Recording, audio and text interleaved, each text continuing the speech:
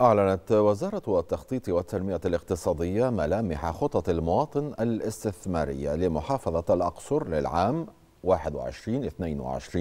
ذلك في إطار مواصلة الإعلان عن خطة المواطن في كافة محافظات الجمهورية للعام الثالث على التوالي بهدف توعية المواطنين بشأن توجهات وأولويات خطة التنمية المستدامة للعام المالي 21-22 ودورها في تحقيق رؤية مصر 2030